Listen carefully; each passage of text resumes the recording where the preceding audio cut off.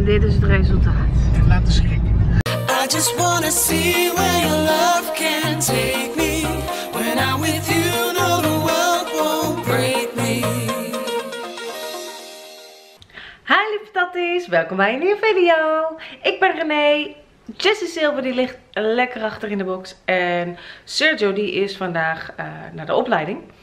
Dus ik ben alleen met Jessie Silver en de hondjes. Ik ga vandaag naar de dierenarts met Mojo. Want ik was eergisteren uh, zijn gebit aan het uh, bekijken. En toen schrok ik. Want ik zag iets wat ik nog niet eerder uh, heb gezien. namelijk dat de middenste tand aan de bovenkant die lijkt plat te liggen. Of die ligt gewoon bloot. Ik, ik weet niet wat ik zie, maar uh, ik schrok er enorm van. Hij lijkt er geen last van te hebben. Hij eet gewoon. Maar ja, dieren die laten niet zo snel zien als ze ergens last van hebben. Dus um, ja, ik heb ook een post op Facebook uh, gezet om toch eens even aan Bulldog uh, owners te vragen van goh, wat zeggen jullie? En ze zeggen eigenlijk allemaal even naar de dierenarts hiermee. Dus ik heb vandaag een afspraak gemaakt om even te laten controleren en wat we hiermee moeten doen. Want misschien moet het wel operatief verwijderd worden. Ik hoop in ieder geval niet dat het iets uh, anders is en iets uh, ernstigs. Ik zal het proberen te laten zien. Oké, uh, het is niet gelukt om het te laten zien, want hij laat niet toe. Maar ik zal even een fotootje posten. Dat dus. Uh, het ziet er gewoon verrot uit eigenlijk. Het klote is dat ik uh, altijd geprobeerd heb hun tanden te poetsen. Maar dat laten ze gewoon niet toe. En die Denta sticks, weet je wel, die ze kunnen gebruiken voor, ja, om eigenlijk de tanden juist oké te houden. die slokken ze gewoon in één keer op. Dus ze kauwen niet zoals ze dat zouden moeten doen. waardoor die gewoon hapslik weg is. En daarnaast is het dus ook nog gevaarlijk. Want hij is, ja, ze stikken er gewoon in. Dus dat is een beetje... Uh, dus ik moet nu echt actie gaan ondernemen. En uh, ja, omdat ik alleen ben is het een beetje lastig om Reggie ook gelijk mee te nemen. Want ik moet die kleine ook meenemen natuurlijk.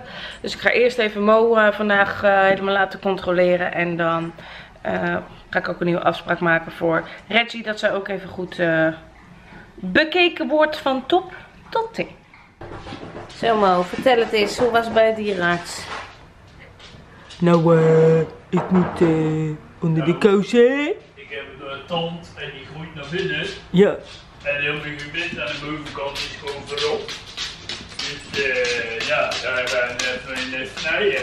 Ja, moet de tand uit.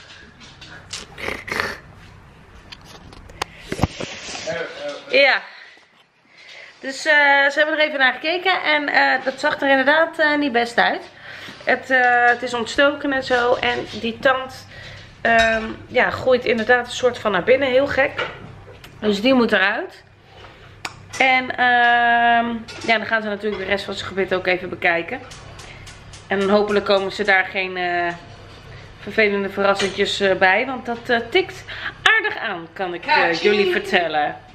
Maar ja, dat heb je er gewoon voor over natuurlijk. Je kiest voor een beest, dus je hebt daar je verantwoordelijkheid voor. En we willen hem zo lang mogelijk bij ons hebben.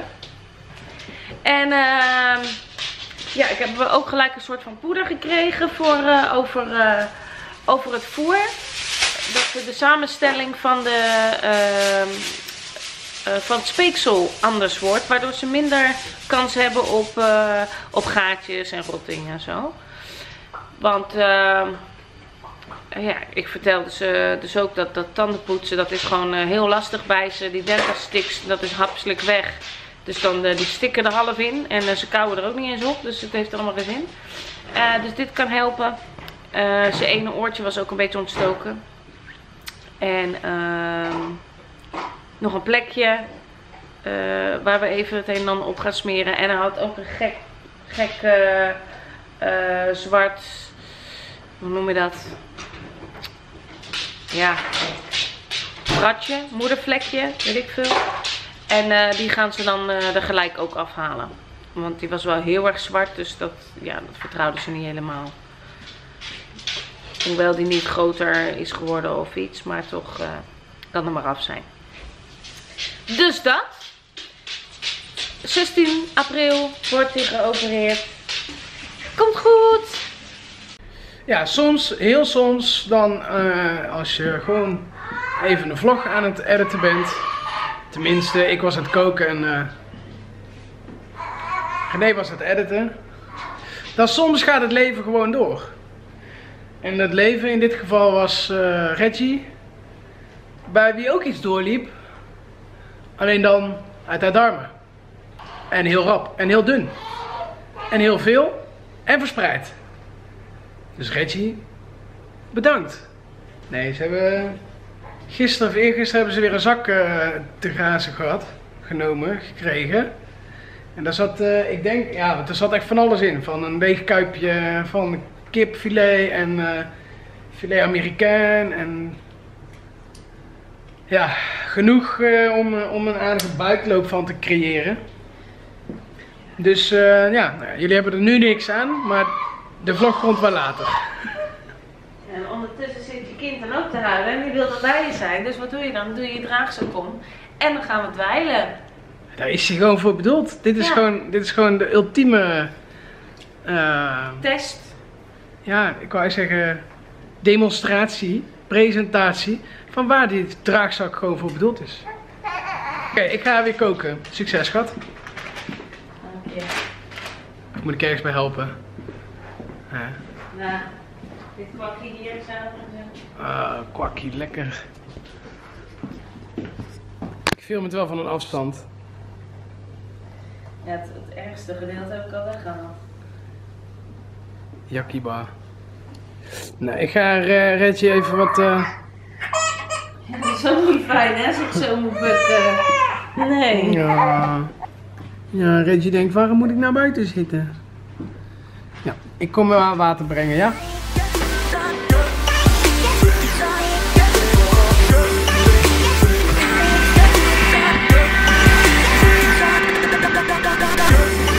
Goedemiddag.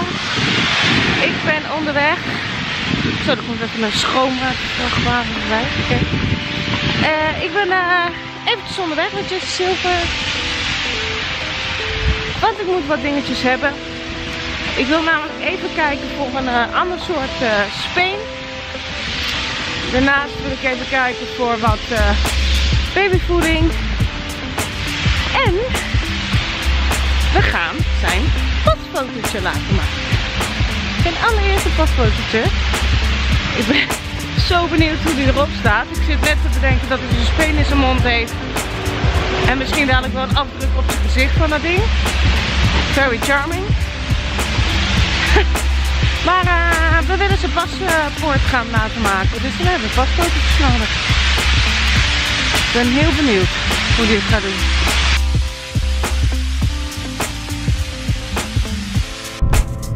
We zijn onderweg naar het gemeentehuis. Want we gaan Jessie zijn paspoort aanvragen. Het is gelukt hoor. Ja, ja, ja. Ik moest hem eerst, eh, eerst ging het toch niet helemaal. En toen heb ik eh, maar even een rondje gelopen en heb ik hem wat laten eten bij mijn werk, op mijn werk. En dit is het resultaat. En laten schrikken.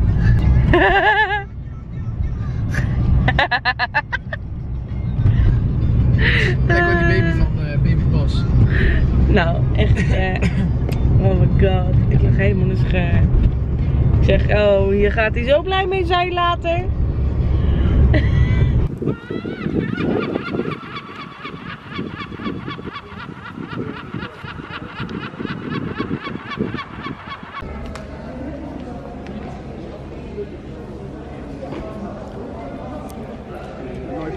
is dit dan? Het uh, stadskantoor of zo gebouwd.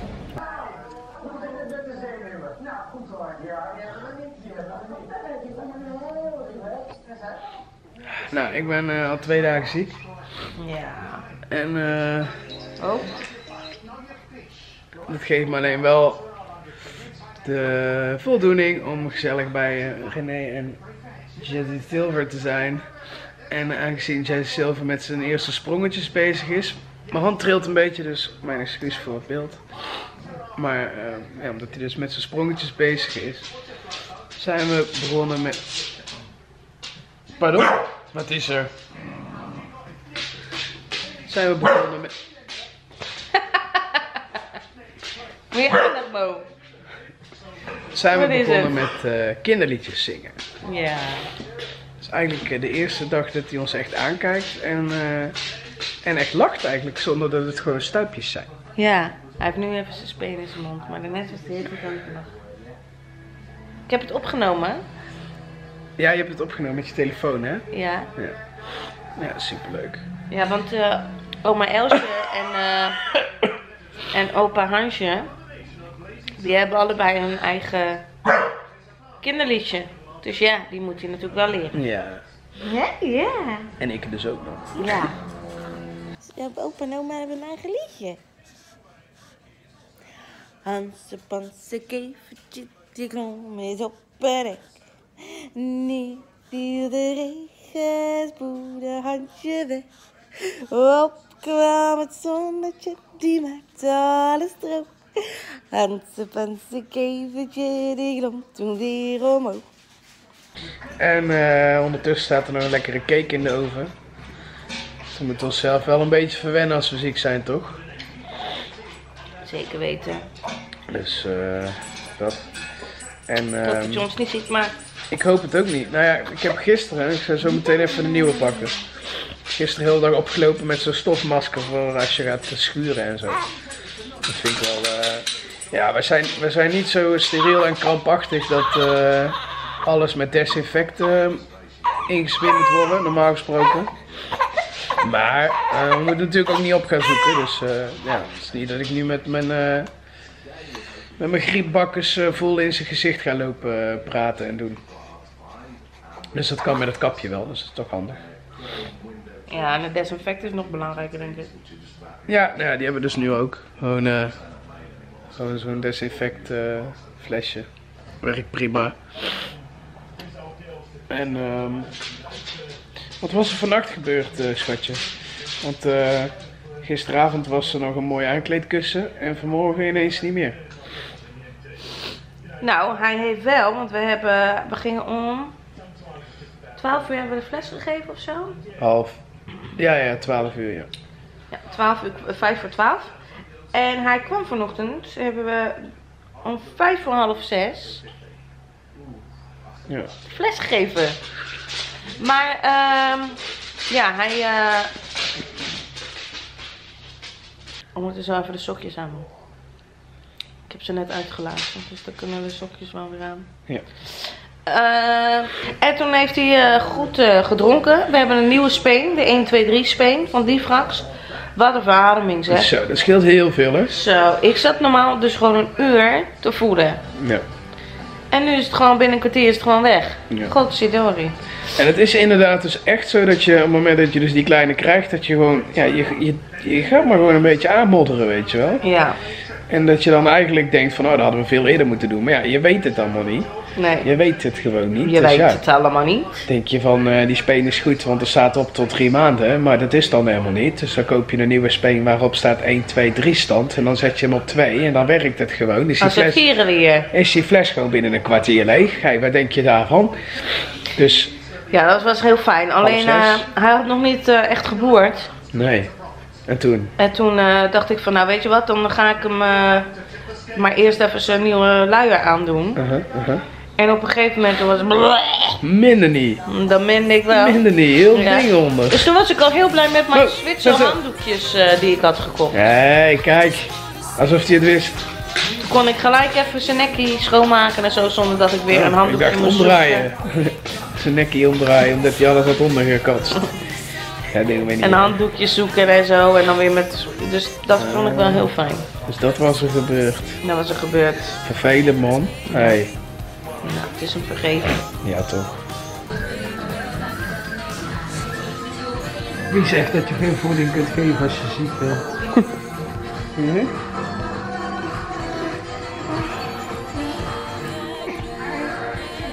Ik lach nu hoor. Ja, zie je. Zit je echt aan te kijken? Wat eh, is die gekke vent met rare kap op zijn mel?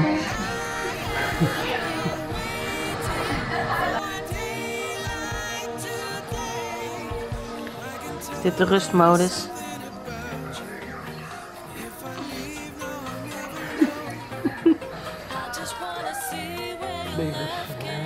Leven is maar zijn nek ook. Is toch heerlijk dat je gewoon kunt slapen waar je zit. Gewoon allemaal denkt. En niet eens denkt. Gewoon let it go. ja.